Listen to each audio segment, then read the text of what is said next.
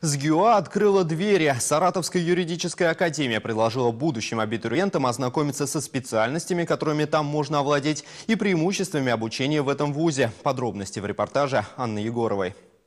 Таких вузов в России осталось только три. В Москве, Екатеринбурге и у нас в Саратове. Восемь институтов, два факультета, четыре филиала. Все это Саратовская государственная юридическая академия. За 80 лет работы свыше 60 тысяч выпускников. Ежегодно абитуриентами вуза становится более трех тысяч человек. Последние три года, как ни странно, несмотря на то, что сокращается число выпускников в школах, в нашу академию прибывает все больше и больше число абитуриентов.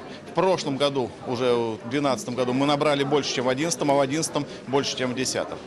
Популярностью пользуются наши традиционные три базовых института. Это Институт прокуратуры, Институт юстиции и Институт правоохранительной деятельности. На день открытых дверей приехали даже школьники из Волгоградской, Тамбовской и Самарской областей. Алексей Свиридов из Сызрани. Поступать планирует не в один вуз, но Саратовская юридическая академия в списке его приоритетов на первом месте. Хочу поступить сюда в СГИА, чтобы, ну, во-первых, перспективно очень получить это образование, потом будущая профессия мне очень нравится. Правоохранительные органы хочу в дальнейшем пробовать, поэтому институт правоохранительный. На первое знакомство с будущей альма-матер кто-то приходит один, а кто-то с группой поддержки в лице родителей. С детства хотела стать э, прокурором, адвокатом, работать вообще в юридической сфере.